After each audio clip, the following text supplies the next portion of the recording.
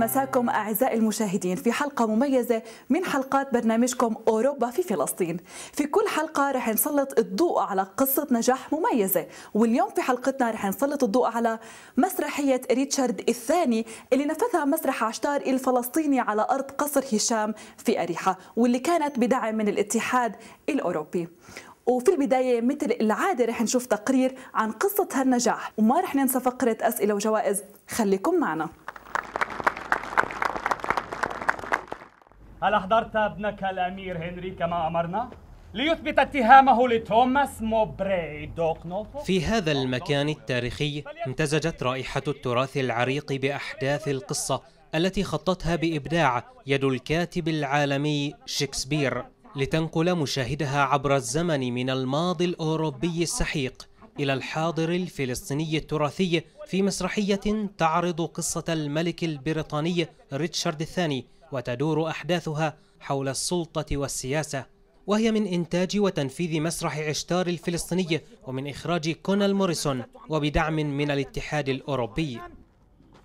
وجود الاتحاد الأوروبي ساعد بشكل كتير كبير لأنه هو كان الداعم الأساسي والرئيسي يعني لهذا العمل. فبالتالي إحنا كان هدفنا من يعني زي كمان هدف الاتحاد الأوروبي إنه نبني جسور ثقافية مع مع أوروبا بالتحديد. شارك في هذا العمل مجموعة من المسرحيين الفلسطينيين المبدعين حيث ظهر الممثل سامي متواسي بدور الملك ريتشارد وجورج إبراهيم بدور الدوق وبيان شبيب بدور الملكة وعدد آخر من النجوم المسرحيين. والشباب المبتدئين. كون المسرحية عرضت في بريطانيا عرضت باللغة العربية بملابس يعني لا علاقة لها بالملابس الشكسبيرية التاريخية هي ملابس شرق أوسطية إذا بدك أو فلسطينية. ف وشافونا يعني بهذا الشكل على خشبات مسارحهم. هذا أكيد بيعمل على توطيد العلاقة والتبادل الثقافي الفني الحضاري الاجتماعي.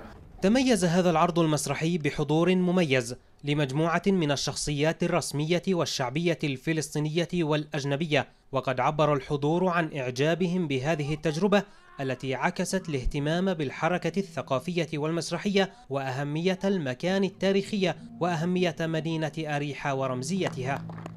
بالطبع إحنا بنشوف إنه هذه الثقافة سواء المسرح أو السينما والفن الفنون بكاملها يجب أن تنمى في فلسطين وعلى المؤسسات الرسمية والمؤسسات القادرة من جزء منها البلديات أن تدعم كل الفرق وكل الفنانين الموجودين في البلد وإحنا في بلديه رام الله عندنا ميزانية خاصة سنوية لهذا الدعم.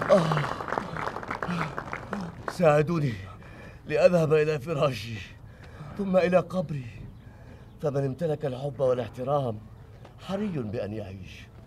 مثل ما شفنا أعزائي المشاهدين هي فعلا قصة نجاح بتستحق إنه نسلط الضوء عليها. فاصل قصير ومنرجع.